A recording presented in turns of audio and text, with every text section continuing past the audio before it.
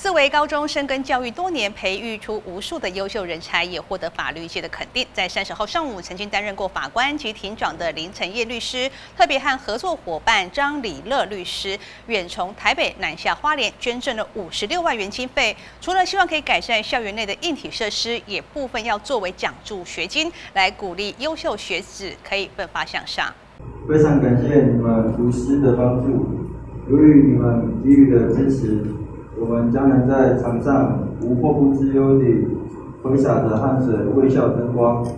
并在课业上认真的学习。三十号上午，曾经担任过法官及庭长的林承燕律师和合作伙伴张礼乐律师，特别远从台北南下到花莲，捐赠五十六万元的经费挹注给四位高中。除了希望可以改善校园内的硬体设施，也部分作为奖助学金，要鼓励优秀学子奋发向上。除了精神上以外，我稍微。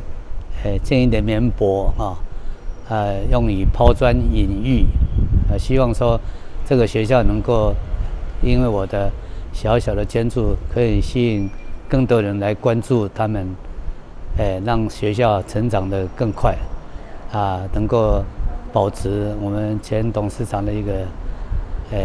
遗愿这样子。呃，今天我们四维高中是以很感恩的心情。呃，迎来了就是从台北来的这个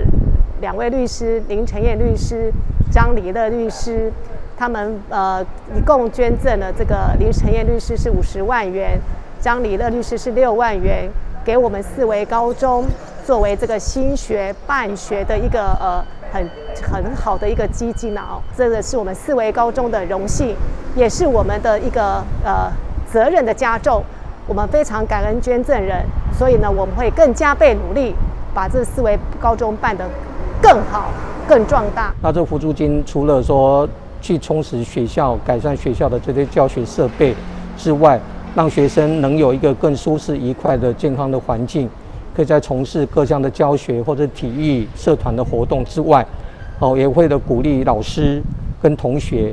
好，在各项的竞赛当中能缔造更好的成效，所以这个奖助学金里面也会提供给老师跟学生。花莲县私立四维高中深耕教育多年，培育出无数优秀人才。老董事长黄英吉的办学理念也受到多方各界大力肯定。林晨燕律师表示，这一次捐款希望能够达到抛砖引玉效果，鼓励更多同学及老师奋发向上的动力。未来不管是在升学还是考取证照及各项多元专长领域，都能。够不停的突破佳绩。据徐立群讲，邦彦华联市报道。